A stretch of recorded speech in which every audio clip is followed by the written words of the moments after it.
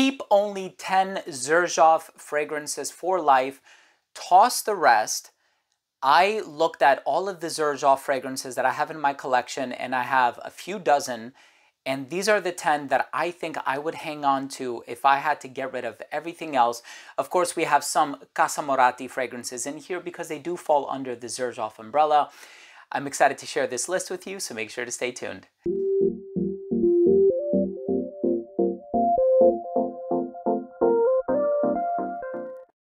I begin today's episode and I tell you about these 10 Xerjoff fragrances that I would keep in my collection if I were limited to keeping only 10. I'm gonna tell you what I love about them. I'll try to get into performance, longevity, and all that good stuff. But before I start the video, I wanna mention that if you're a fan of fragrance related content, hit subscribe, hit the bell, and also please give this video a thumbs up for the algorithm it would really mean a lot to me. So the first one that I would hang on to, and I love this stuff, is Lira. Now Lira has bergamot, blood orange, lavender, rose, jasmine, cinnamon, licorice blossom, vanilla musks, and caramel. For me, it is this vanilla blood orange fragrance. It's orangey, it's sweet, it has this velvety dry down, it's gourmand, it's absolutely delicious and to die for. Lira is a spectacular gourmand fragrance that also conveys a nice bit of class with it as well. Now, of course, if we're talking about gourmands, we also have to talk about Symphonium. This is a beautiful orange and chocolate fragrance.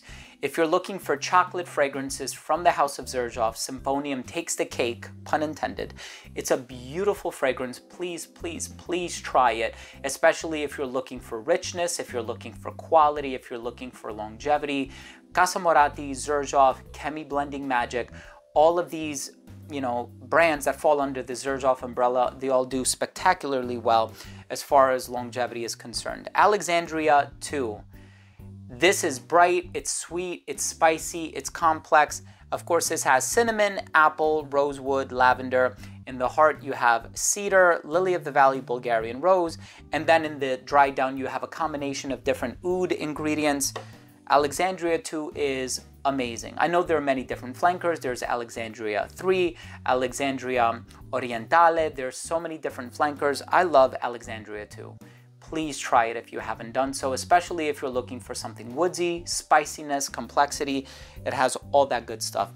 Uden Overdose. This is a beautiful tobacco fragrance, but tobacco that is smooth, it is very easy to wear, it is professional, you can wear it to the office. And of course, the original Uden has these attributes as well. But of course, there are a lot of tobacco fragrances on the market that go in that moist cherry pipe tobacco direction, like Tobacco Vanille by Tom Ford. This one is very smooth, airy, clean, professional, sophisticated. I love it for that reason.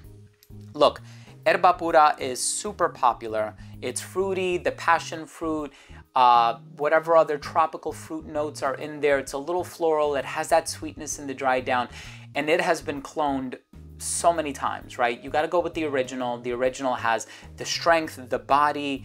It has the quality, the complexity. It's absolutely amazing. And it could have very easily been number one or two on anybody else's list. But of course, this is a very personal list. These are fragrances that cater to my personal tastes. Now I do love their sweet offerings. Iommi Monkey Special is amazing. So this one is caramel and patchouli and woods, and it does remind me a little bit of Angel for Men by Thierry Mugler. And this was a collaboration with Tony Iommi from Black Sabbath. It is a beautiful fragrance. Of course, we can't forget Naxos. I know I would be crucified if I didn't mention Naxos on this list. It is a beautiful tobacco fragrance. Smells a little bit like Pure Havane by Thierry Mugler, but this one is a gorgeous, sweet, vanilla, honey, rich tobacco type of a fragrance that I love wearing in the colder weather. But, you know, of course, if you're wearing it in a climate controlled environment, you can wear it all year round. We're getting down to the top three. I have to talk about the versatility of this one, Mefisto Gentiluomo from the Casamorati line. Of course, this fragrance, it's bright, it's citrusy, it has some clean white floral ingredients in the heart. You have the original Mefisto, which reminds me a little bit of Silver Mountain Water by Creed. This one is so unique. It goes in its own direction. I'm actually not wearing anything today, so I might make that my scent of the day now that I'm looking at it and thinking about it. I'm like, you know, such an amazingly versatile fragrance super clean, very classy, CEO type of a fragrance, and I really admire that for that reason. The fragrance in the number two spot, well, there's a lot of sentimentality here and nostalgia. I initially discovered Nio back in 2012. So I've known about this fragrance for 14, uh, 12 years now, excuse me. I'm not that great of a mathematician, but I know how to count backwards. Nio is amazing. It is cardamom and bergamot. It is the most natural expression of the note of bergamot that I've ever smelled. So bright, refreshing, zesty. It is incredible. And of course, it reminds me of the time when I initially discovered Xerjoff and how I fell in love with this Italian luxury brand. And, you know, if somebody said I have to get rid of all of my Xerjoff fragrances, these are the 10 that I have to keep. Of course, it would be these nine plus the one that I'm about to reveal. And I do apologize for not mentioning Dhajala. I apologize for not mentioning Apollonia. I apologize for not mentioning More Than Words or Mamluk or some of the other Alexandrias or the original Mefisto. I know. There are a lot of Xerjoff fragrances that I can't include in the list because I have to limit it to just 10. But the number one, absolutely love this stuff. It's sweet, it's gourmand, you have the coffee, you have the caramel, you have all of these rich ingredients. And of course, I pick up on a lot of stuff that are not listed in the note breakdown and a perfumer will never disclose every single ingredient that goes into the composition of a fragrance, but this stuff, it's one of the best gourmand fragrances ever. If you're looking for something that smells sweet, high quality raw materials, high quality ingredients, master craftsmanship, you need Italica by Casamorati. Every time I wear it, I get stopped, I get asked questions, what are you wearing? I've had people ask me to make samples for them and I've been generous enough to do so because I saw the light in their eyes and they got so excited when they smelled it and Italica is just to die for.